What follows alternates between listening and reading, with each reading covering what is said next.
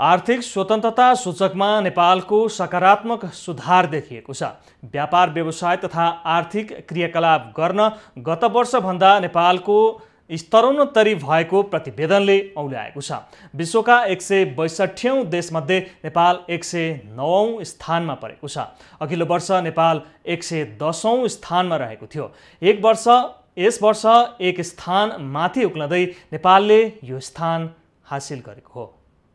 क्यानाडाको Fraser इन्स्टिच्युटसँगको संयुक्त प्रयासमा समृद्धि फाउन्डेसनले जारी गरेको दुई हजार बिसको वार्षिक प्रतिवेदनमा नेपालले आर्थिक स्वतन्त्रता सूचाङ्कमा सकारात्मक सुधार गरेको उल्लेख गरिएको छ। प्रतिवेदन अनुसार नेपाल सरकारको आकार दुई हजार बिसमा छ दशमलव नौ दुई छ यसअघि दुई हजार उन्नाइसमा सात दशमलव दुई दुई रहेको थियो। यस्तै सम्पत्तिको अधिकारमा कानुनी व्यवस्थाका सूचाङ्कमा यस वर्ष नेपालको सुधार देखिएको छ। दुई हजार उन्नाइसमा चार दशमलव पाँच चार बिन्दु रहेको थियो भने हाल चार दशमलव छ चारमा उक्लेको हो। साउन्ड मनीको पहुँच सूचक र नेपाल ऋण श्रम र व्यापारको नियमन सूचकमा पनि सुधार देखिएको हो। अन्तर्राष्ट्रिय व्यापारको स्वतन्त्रताको सूचाङ्कमा पनि नेपाल माथि उक्लेर एक सय एघार स्थान हासिल गरेको छ।